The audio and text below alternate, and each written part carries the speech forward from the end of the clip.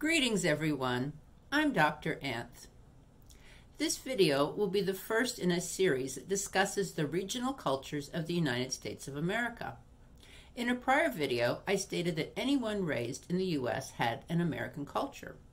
But due to its large size, the U.S. also has 12 regional cultures. Most Americans, not to mention the rest of the world, are unfamiliar with these regional cultural differences.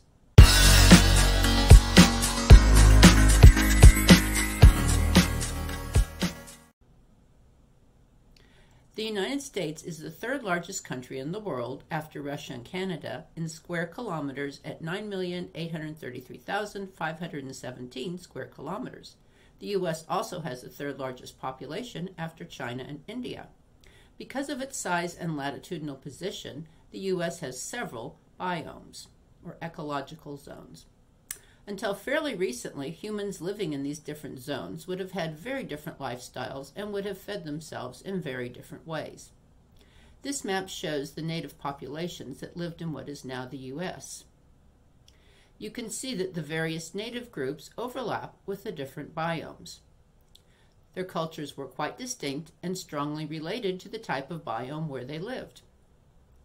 Beginning in the 15th century, groups of colonizers from several European countries began to settle in the different regions of what later became the United States. The 12 regions of American culture are the result of interactions with a specific natural biome, the native population already living there, the particular European cultural background of the colonizers who settled in that biome, and the cultures of the groups from West and Central Africa who were captured and enslaved by the European colonizers and brought to a particular biome. This map shows the 12 regional cultures. You can see that the regional cultures again overlap with the different biomes. I find the subject of the regional cultures particularly interesting as I have lived in several of them.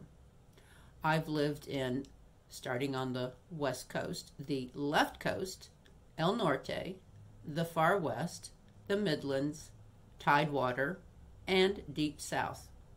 My father was born and raised in Greater Appalachia. My mother was born and spent her first 11 years in Yankeedom, later moving to the Midlands. This next series of videos will discuss the origins of each regional culture and how the regional cultures still impact 21st century America. Thanks for watching and please subscribe to my channel.